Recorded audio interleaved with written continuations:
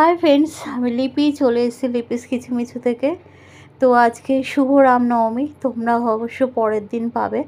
তো আমাদের এখানে হনুমান মন্দিরে আমরা ডালা দিয়েছিলাম মানে পূজা দিয়েছিলাম। দুদিন ডালা দেওয়া যায়, একটা হনুমান পুজোর দিন আর একটা রামনবমীর দিন। তো যার যেদিন ইচ্ছে দেয়, তো আমরা সেদিনে গেছিলাম, রামনবমীর জন্যই ডালা দিয়ে এসেছিলাম। আর এরপরে আবার আছে হনুমান জয়ন্তী। পারলে সেটাতেও দেব এখনও ঠিক হয়নি। আর পাঁচশো এক টাকা থেকে শুরু। এবার যে যতটা পারবে সেইভাবে ডালার আর কি দেয় মানে পুজো দেয়। তো সেটা আনতে গেছি। আর সবাই ওখানে গল্প করছে, বসে রয়েছে, আর দেখো কি সুন্দর সাজিয়েছে। আমরা অনেকটা দেরি করে গেছি, কারণ আগের বারে প্রচণ্ড ভিড়ের মধ্যে পড়েছিল তোমাদের দাদাভাই। আর এবারে মানে থালাটা ধরে আনতে হবে বাইকে বসে, তাই জন্য আমাকে নিয়ে গেছে নইলে আমি যেতাম না, অন্য কেউ যেত।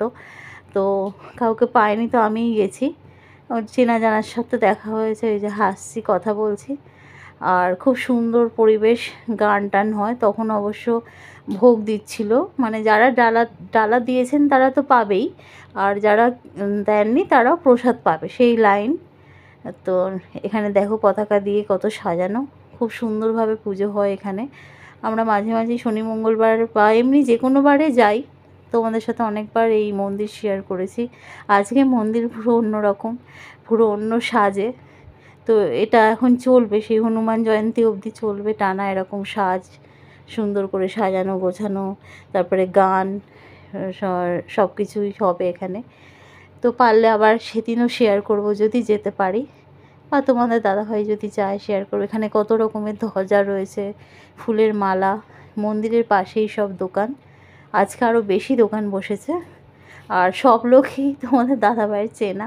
তো সবার সাথে হাসছি, কথা বলছি।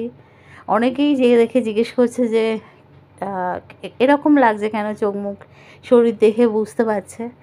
তো সব কিছু তো আর সবসময় বলার যায় না। এই শরীরটা খারাপ এরকম বলছি।